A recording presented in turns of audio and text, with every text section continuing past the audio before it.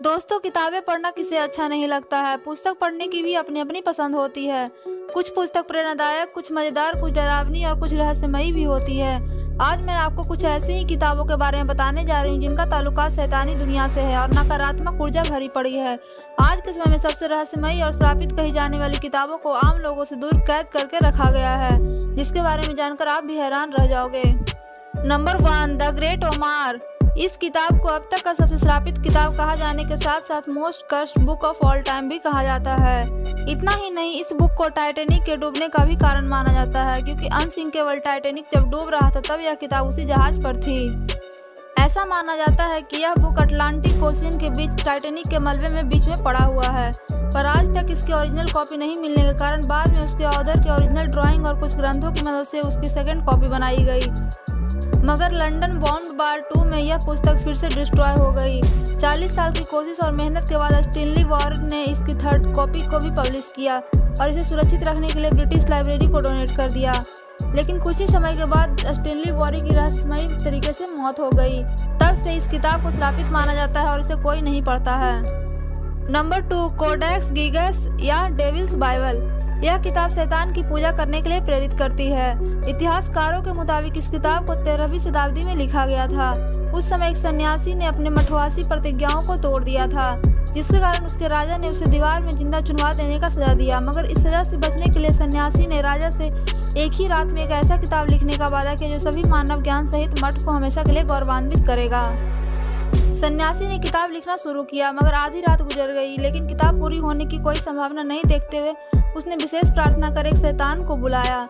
शैतान किताब लिखने के लिए राज़ी हो गया, मगर उसने बदले में उसकी आत्मा मांग ली। शैतान ने एक ही रात में पूरी किताब लिख डाली। किताब को 160 चमड़े के पन्ने पर लिखा गया था, जो इसे 50 किलो वजनी बनाता है। वैज्ञानिकों के मुताबिक, प्राचीन समय में चमड़े के पन्नों पर ऐसी किताब लिखना असंभव है। और अगर दिन रात तेज करके भी इस किताब को लिखने में कम से कम 20 साल का वक्त ज़रूर लगेगा। मगर शोधकर्ताओं के मुताबिक जिस तरह से इस किताब की लिखावट है इससे यह स्पष्ट होता है कि इसे लिखने में 20 से 25 साल का वक्त नहीं लगा होगा। अभी के समय में इस किताब को स्वीडन के एक पुस्तकालय में सुरक्षित रखा गया है। Number three, book of Soyga. इस किताब को मौत का किताब भी कहा जाता है। इस किताब में जादुई चीज़ें और जादुई रस्मों का ज़िक्र किया गया है। यह किताब एक सौ पन्नों का है। जॉन डी नामक एक स्कॉलर पहला व्यक्ति था जो इस किताब को डिकोड करने का कोशिश किया। जॉन डी के पास करीब तीन हज़ार किताबों का कलेक्शन था, जिसकी मदद से उसने एक एंजल को आमंत्रित किया, जिसका नाम यूरियल एंजल था, ताकि उसकी मदद से वह किताब डिकोड कर सके। मगर एंजल ने बताया कि इस किताब को आम आदमी नहीं डिकोड कर सकता है और इसकी सीक्रेट नहीं जान सकता है। 1608 में जॉन डी की मौत के बाद यह किताब गायब हो गया था। पर साल 1990 में इस किताब को ब्रिटिश लाइब्रेरी में अचानक देखा गया। अजीब बात तो यह है कि यह सिर्फ़ एक ही जगह नहीं, बल्कि एक साथ दो दो जगह पर दिखाई दिया। ब्रिटिश लाइब्रेरी में दूसरा बोर्ड लियन लाइब्रेरी ऑक्सफोर्ड में, और आज भी यह किताब दोनों जगह पर पड़ी हुई है। Number four, the orphan story. यह एक ऐसी किताब है जो सोलह सौ ईस्वी में लिखी गई, मगर लगभग 400 साल बाद साल 2018 में पब्लिश हो पाया। क्योंकि इस पुस्तक को पब्लिश करने की जो भी कोशिश करता, या तो वो एक्सीडेंट या किसी अन्य कारण से मारा जाता। न जाने इस किताब में ऐसा क्या था कि इसे पब्लिश कराने वाले नाकामयाब ही हो जाते। मगर साल 2018 में एक व्यक्ति ने इसे पब्लिश करा ही दिया, और वह अभी भी ज़िंदा है। लेकिन इसे अभी भी श्रापित ही माना जाता है। इस किताब में एक जवान लड़की की कहानी है, जो कि 14 साल में ही अपना होम टाउन छोड़कर स्पेन एम्पायर रीजन में चला जाता है। अपने लाइफ में आगे बढ़ने के लिए वह कैसे समुद्री लुटेरे से लड़ता है और वह कोई स्किल सीखकर सोल्जर बन जाता है। यही सब इस किताब में लिखा गया था। नंबर फाइव वाइनिक मैनुस्क्रिप्ट इतिहासकारों के मुताबिक यह रसमई किताब 600 साल पुरानी है।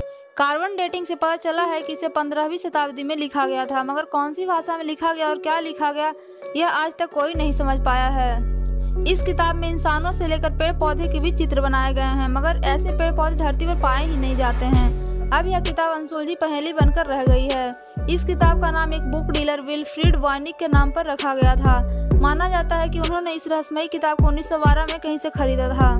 कहा जाता है कि इस रहस्यमयी किताब में कई पन्ने हुआ करती थी, लेकिन समय के साथ यह पन्ने खराब हो गए। फ़िलहाल इसमें सिर्फ़ 240 पन्ने ही बचे हैं। इस किताब के बारे में बस इतना ही पता चल पाया है कि इसमें लिखे गए कुछ शब्द लैटिन और जर्मन भाषा में है।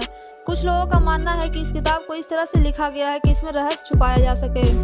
दोस्तों, आपको किस तरह की किताबें पढ़ने का शौक है, हमें कमेंट सेक्शन ज़रूर बताएँ। और वीडियो अच्छी लगी तो लाइक शेयर और सब्सक्राइब ज़रूर कर लें। जय हिंद, जय